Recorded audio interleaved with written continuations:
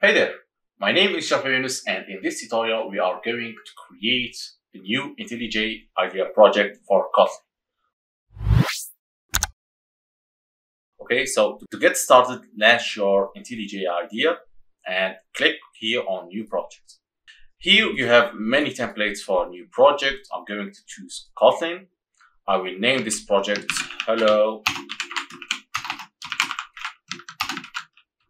Kotlin like that. And I'm going to choose just a console application. And for the build system, I'm going to choose Maven. And lastly, you can choose an SDK.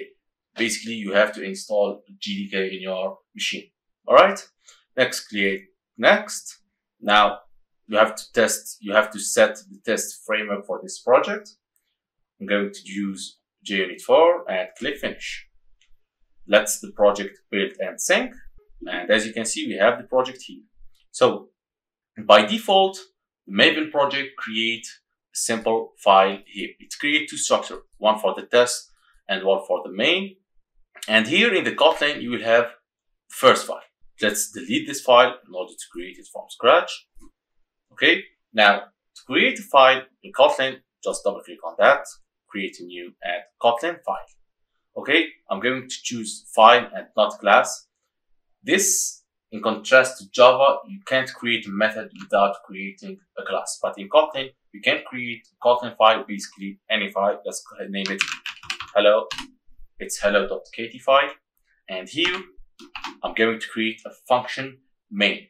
Okay, to create a function, we're going to use the keyword fun. We will learn about functions more in this playlist.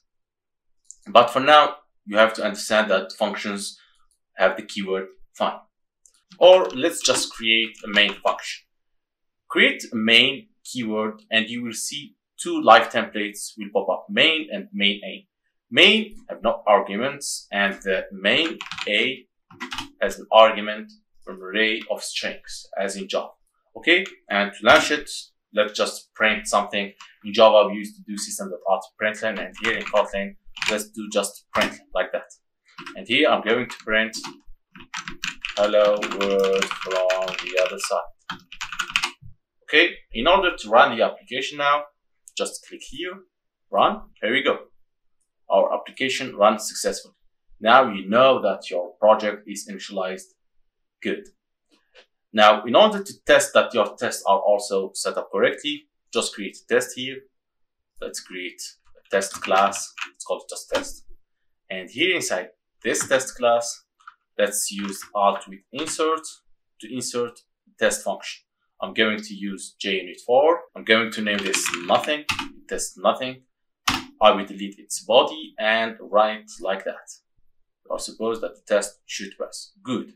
Now you know that your project is successfully initialized. You can start using Kotlin in any way. I hope you learned something. Thank you for watching this video and see you in the next upcoming videos.